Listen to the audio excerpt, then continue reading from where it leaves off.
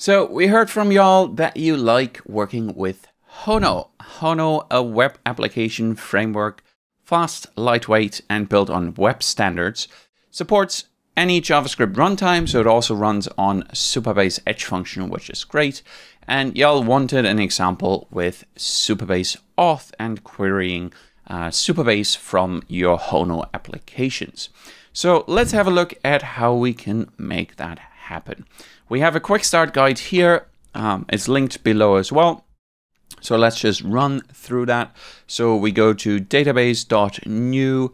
We'll create a new project name. We'll call it super duper hono, maybe.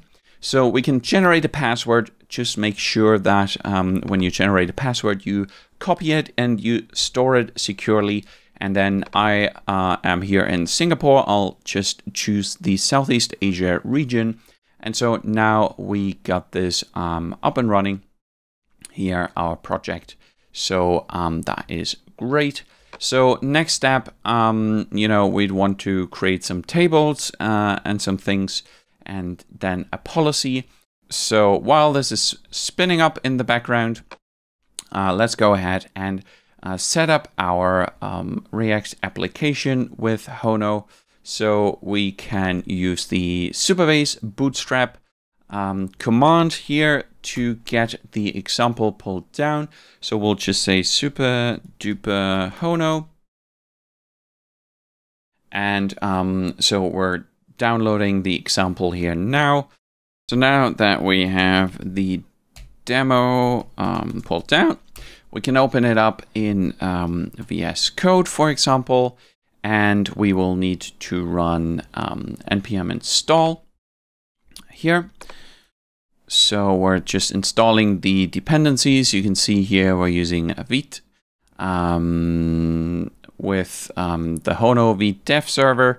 Uh, and so then here we have um, our, our Hono application, some middleware. We can see what that looks like um, uh, client. This is our you know client page. So what we can do is we can say um, in the README we can see we will need to run npm run dev, npm run dev, and then we will open up on localhost. Um, here we are, and yes, we need to configure um, our Supabase URL. Okay, I'm jumping ahead. Sorry. So let's do this now, follow the steps. Um, so we need to configure um, our, so super duper Hono is I think what I called it. There we are. Uh, and so we can just copy our um, .env.example file. And now we have our .env file, and then we need to copy the project URL and our um, anon key. Fantastic. And so now um, we can go back here to our uh, dashboard. You see this is um, our project details are in here as well, but they are also in the docs. And now we just need to set up um, some tables here. So what we're doing is we're creating a country tables with some entries, and then we're enabling uh, level security policies. Um, so let's run that. Okay, so now we can see we have our countries. We currently don't have any policies, but we do want to uh, enable here read access for um, authenticated users. So if we enable it for Anon, then anyone can read it. But in our case, we want to limit it to uh, authenticated users. So let's do that here. Um, so instead of Anon, we'll say authenticated, uh, I think like this. And then we run that policy. Oh yeah, it shouldn't be public, so authenticated. Authenticated users can read. And so now if we go ahead and we run this again, we can now see, okay, here's our example. So currently if we fetch, we see, okay, we're not logged in. And then if we go to get our countries, we see we don't get any um, details back. So we need to sign in. Now enable to do anonymous sign-ins. We need to enable anonymous sign-ins, super duper um, Hono.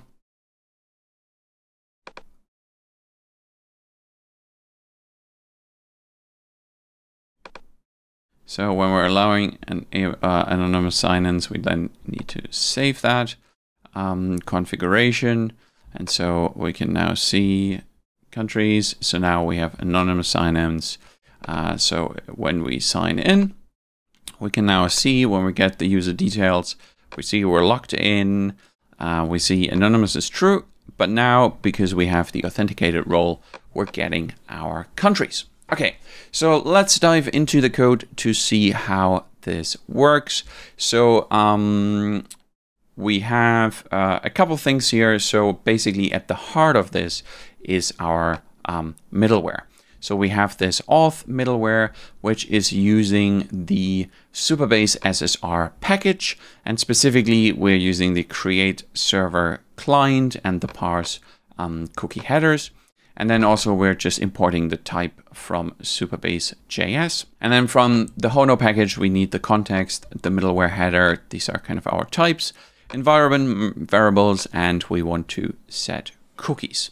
So we can see here we're declaring um, kind of our context variables. So we're adding kind of Supabase to the Hono context.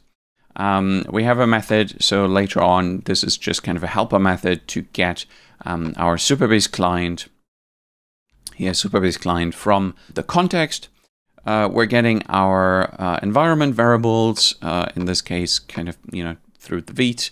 Uh, so these are publicly exposed later when you build your application. So make sure you're only using the Supabase anon key here with the Vite prefix. And then we are creating our Supabase middleware. Uh, and so the way we're creating our Supabase client is basically here we need to get our variables first, and then we're creating this server client. And the server client, we need to specify um, the get all and set all for the cookies.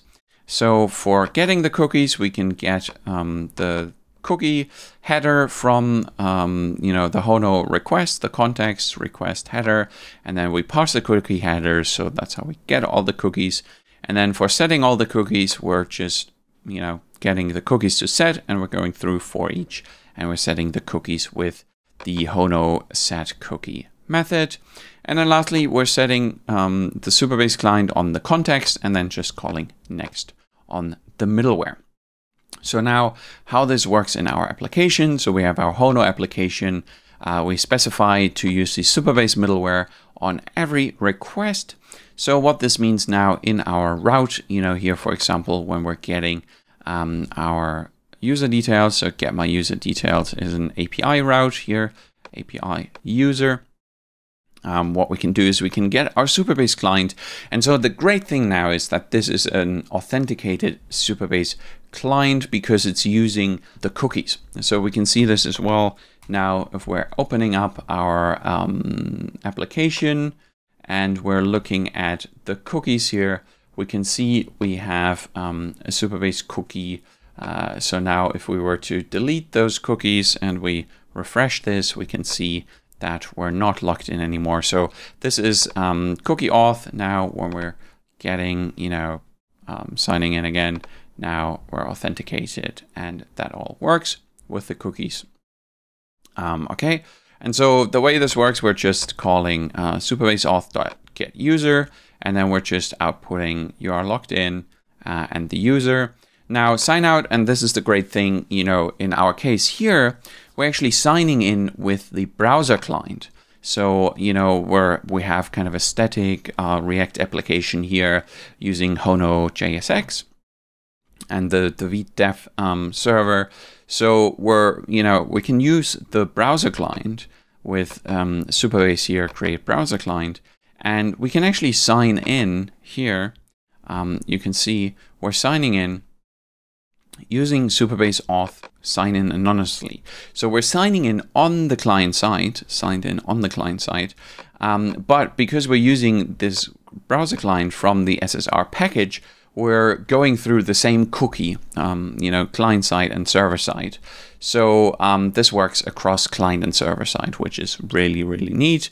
Um, we can also use the on-auth state change um, client side JavaScript here. Um, but then, you know, for example, uh, again, if we go back, we can also then call the sign out method server side. Again, we're using here the server client. We're going through the same cookies. So that works. We're just calling supabase auth sign out. So now when we do this sign out, we're actually just going to the sign out method. And then we're signing out and then we're redirecting back. And you can see now the cookie is gone. And then lastly, for our countries uh, API route, again, uh, we're just getting the Supabase client. And since this is an authenticated Supabase client, it follows the RLS rules. So when we're not logged in, we don't get any data back because we're not authenticated.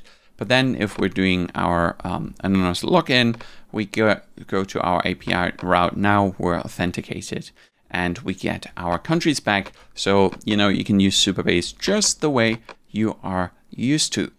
Um, there we have it. This is how easily you can get up and running with Hono and Supabase Auth and Supabase Database. Let us know if there's any other frameworks that you'd like to build with.